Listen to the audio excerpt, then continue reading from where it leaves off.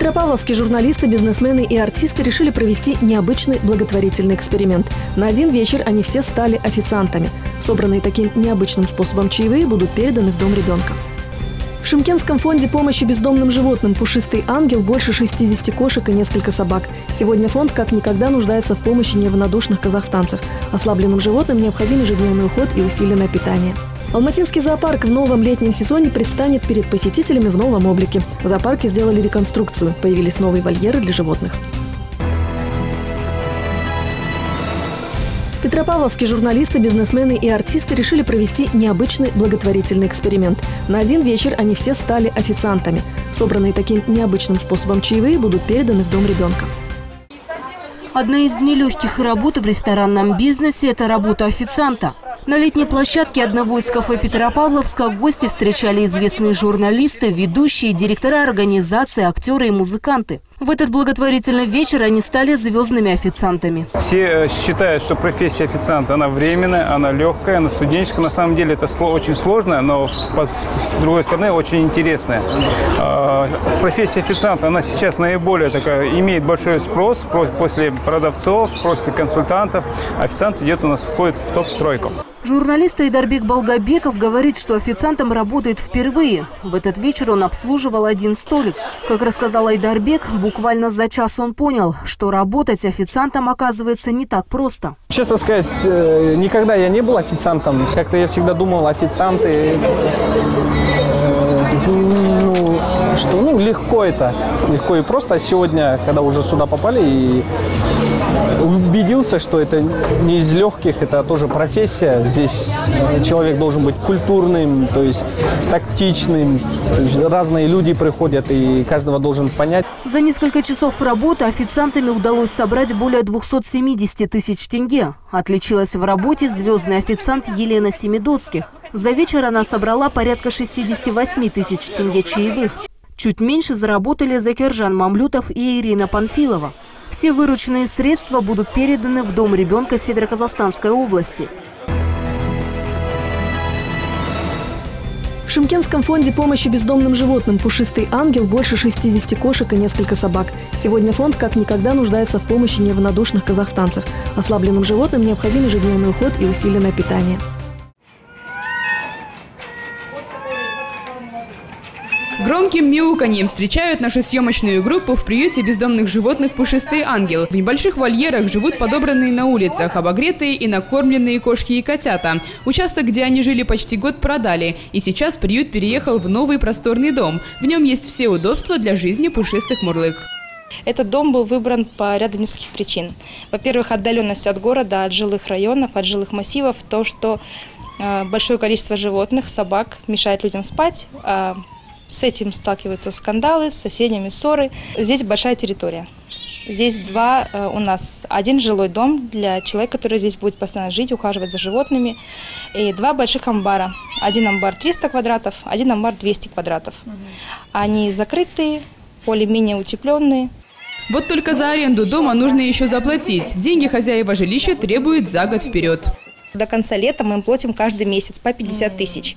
Мы, а, и потом мы им а, будем вынуждены сразу заплатить за год. Мы, мы попросили у них подождать, что мы под, подкопим, отложим. И вот мы должны будем в августе им заплатить 600 тысяч за год. Помимо этого, животных нужно кормить, лечить и убирать за ними. Нам нужен брус 5 на 5 желательно, хотя бы 4 на 5.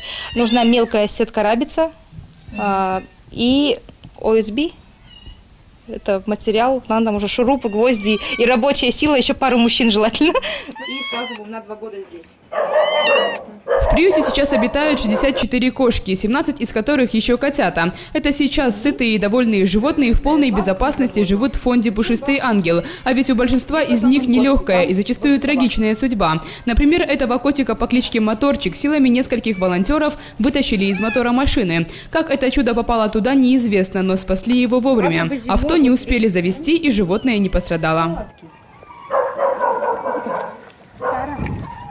Живут в фонде «Пушистый ангел» и собаки. Активные и доброжелательные, они бегают по просторному двору и играют друг с другом. Эти псы могут стать отличными охранниками и верными друзьями. Старые и больные собаки живут в закрытом вольере и несколько раз в день выходят погулять. Так у пирата ампутирована задняя лапка, но пес любит жизнь и обожает нежиться на солнышке.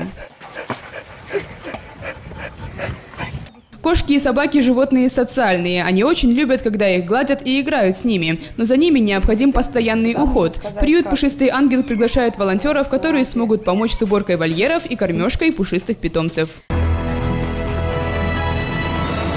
Алматинский зоопарк в новом летнем сезоне предстанет перед посетителями в новом облике. В зоопарке сделали реконструкцию. Появились новые вольеры для животных. Удивительные животные эти медведи. В них воплощены красота и мощь, загадка и опасность. Это самые крупные наземные хищники и, по мнению ученых, одни из самых умных млекопитающих. Алматинский зоопарк продолжает свою работу по реконструкции и благоустройству. При поддержке неравнодушных горожан зверинец недавно обрел новые вольеры для белого медведя и носорогов. Теперь жилище Алькора состоит не из решеток, а комнаты, которые охлаждаются при помощи кондиционера, бассейна с проточной водой и скважины, мраморного пола. Кроме того, у Мишки появилась новая парковая зеленая зона, где он может проводить время в тени дерева. Такой подарок преподнес зоопарку меценат Сергей Спицын, который признался, что для него это была мечта с детства. В самое ближайшее время реконструкции подвергнутся и вольеры для бурых медведей. На сегодняшний день это маленький шаг в направлении развития зоопарка, и сейчас много спонсоров дарят лавочки, скамейки. Не остаются в стороне производители пищевых продуктов, желающих улучшить рацион питания животных городского зоопарка. В частности, компания «Казахстан Бал Önimдері» с торговой маркой «Казахмед» подарила свою продукцию для маленьких медвежат. Глядя на позитивные изменения, которые происходят в нашем зоопарке, мы не смогли остаться равнодушными. И вместе со своими пчелками, которые работают а, на просторах восточного Казахстана, в Катон-Карагайских горах, собирают мед полезный. А, для медведей, кстати, само название медведь происходит от слова мед, ведающий медом хищник. И решили поддержать начинание а, директора, подарили медведям а, мед, который собирали наши пчелки с любовью. По словам директора зоопарка Ержана Еркомбаева, планы по благоустройству грандиозные, но двигаться к ним нужно малыми шагами. Один из них – улучшать рацион питания животных. Мы вчера только говорили с нашим э, главным врачом о том, что э, в рационы медведей, медведей в современных зоопарках входит мед обязательно. Да. У нас почему-то в рационе меда нету. Вот это будет первое экспериментальное кормление медом. Мы вчера учредили экспериментальное кормление для медведей, угу. поменять рационы угу. и решили добавить мед. И вот это будет первый мед, который они попробуют. Хочется надеяться, что у Алматинского зоопарка наступила светлая полоса, и животные теперь будут обитать в лучших условиях, чем прежде.